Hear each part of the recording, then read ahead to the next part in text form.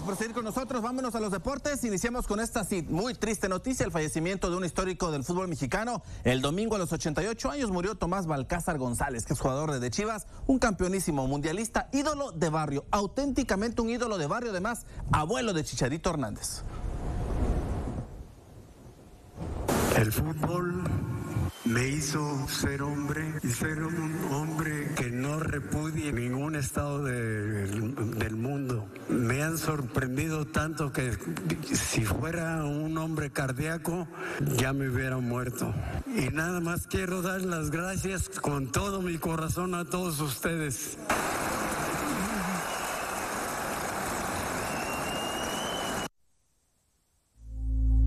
A los 88 años de edad falleció Tomás Balcázar González, un histórico del fútbol mexicano nacido el 4 de mayo de 1931 en Guadalajara, Jalisco. Sería el primero de una dinastía de delanteros dentro del balompié nacional. Comenzó su carrera en el amateurismo con el Club Deportivo Nacional y luego de representar al estado de Jalisco en un campeonato nacional, el Guadalajara mostró interés y lo fichó en 1948. Equipo en donde pasaría toda su carrera y a pesar de no tener temporadas de abundancia goleadora, fue constante, lo que le valió para ser llamado a la selección mexicana.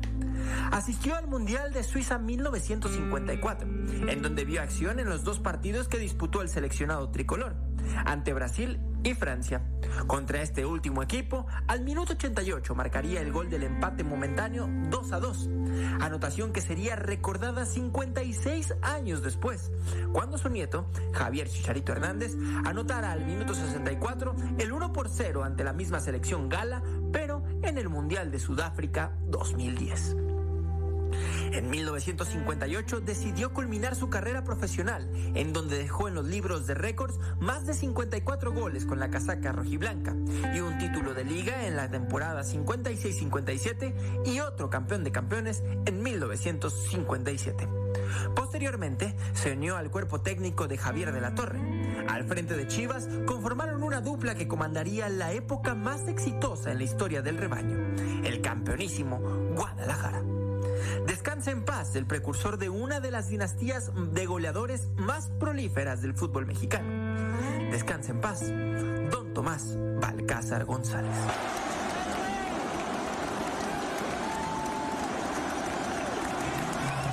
Jorge Lara, Deportes, Canal 6.